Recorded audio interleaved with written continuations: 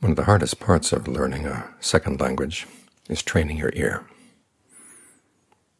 to hear distinctions in sounds that don't make a difference in your native language, but do make a difference in the language you're trying to learn. As when you learn Thai. There's a difference between ba and pa. Difference between da and da, which we don't hear in English. In fact, we're trained not to hear the distinctions. But if you're going to speak Thai, you have to hear the, the distinctions. And it's the same principle in learning the Dharma. The Buddha makes distinctions between things that we don't ordinarily see as distinct. We tend to glom them all together.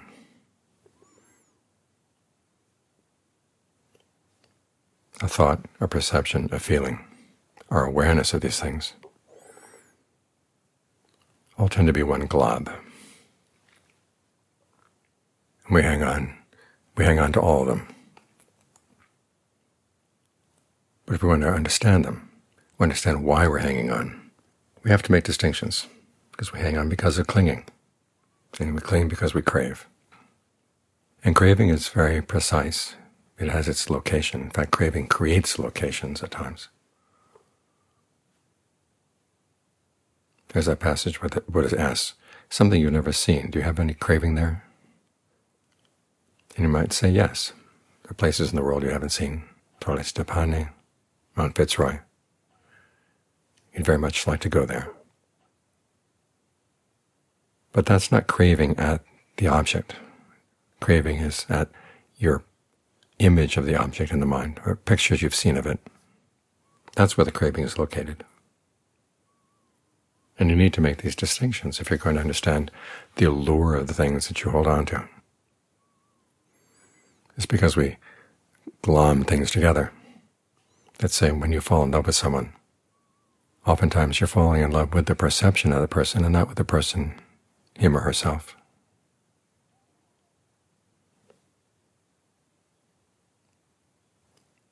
And as you get together, you find it's not just the perception you're having to live with the actual person, and it's something very different from what you anticipated. We fool ourselves all the time like this.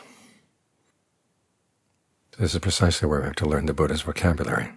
He talks about the different places where craving can be located. He goes through the aggregates.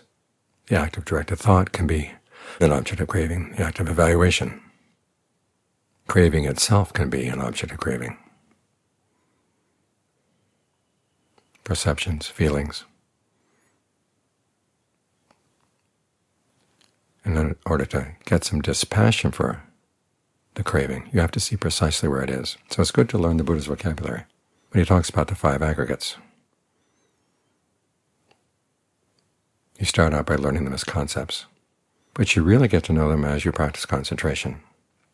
This is one of the reasons why concentration is necessary for discernment. Because when you're concentrated, focused on the breath, say, the breath is body or form. It's part of the wind element in the body. And then together with the breath, there will either be pleasant feelings or unpleasant feelings. You're trying to focus on the pleasant feelings and nurture them, give rise to them and keep them there.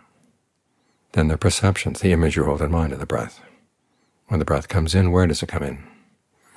When it goes into the body, where does it go in? How far does it go? And you find that different ways of imaging the breath to yourself will have an impact on how well you can settle down, and also will have an impact on the feelings that you create. And then there's the directed thought and evaluation, where you're talking to yourself about the breath, analyzing it, evaluating how well it's flowing, and asking yourself, how could you do it better? That's fabrication. And then there's consciousness, which is aware of all these things. In order to do concentration properly, you have to have a hands-on mastery of these aggregates. That's how you get to know them.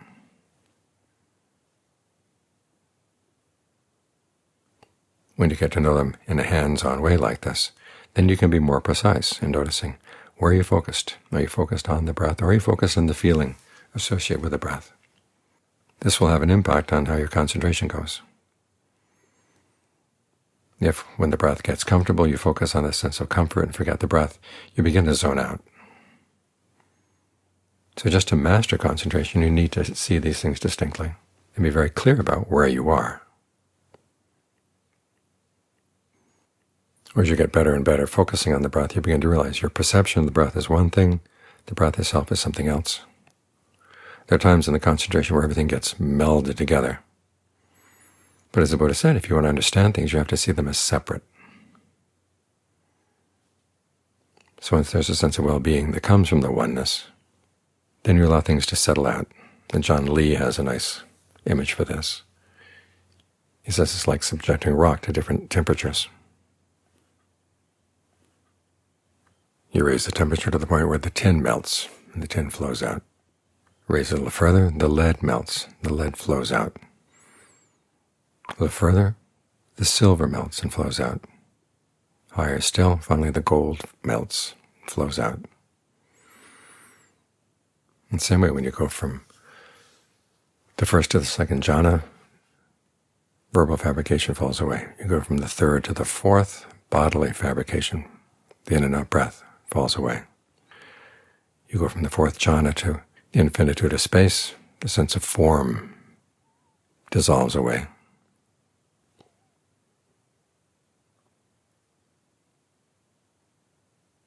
You go to the state of neither perception and non-perception, perceptions fall away.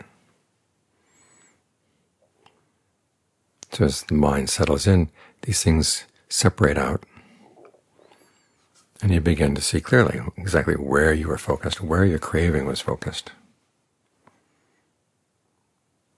Because that's when you can do the analysis that comes with seeing things arise, seeing them pass away, seeing their allure. If you can't precisely locate your craving, it's going to be hard to see the allure that's pulled you in.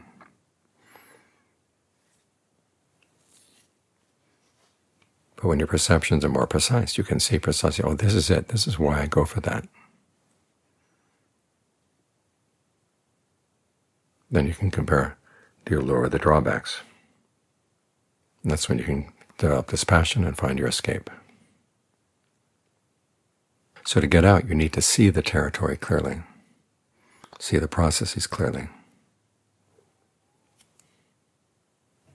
It's like being presented with a wall that's filled with different doors and knowing precisely which door to go through. And that leads to another wall with many doors. You know which door to go through. You learn this through trial and error. But after a while, you can make your way through the maze because you see that there actually are choices, and the choices make a difference.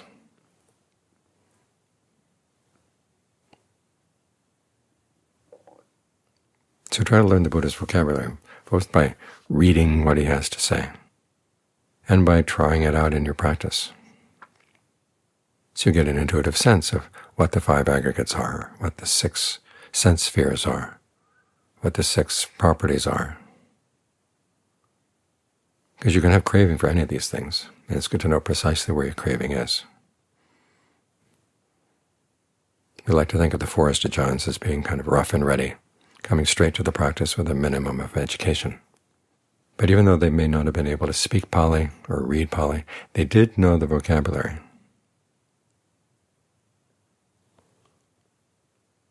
And knowing the vocabulary enabled them to sort things out in their minds.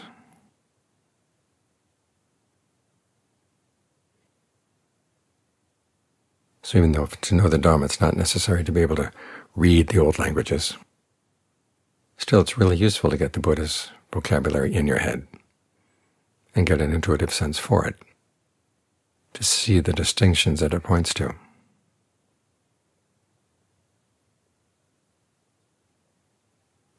So you can be very clear about where your craving is. When you're clear about that, then you know precisely what to abandon.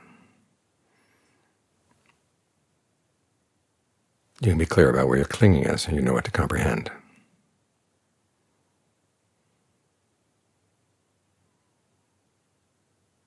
And you get a clear sense of the elements of the path, so you can develop them properly.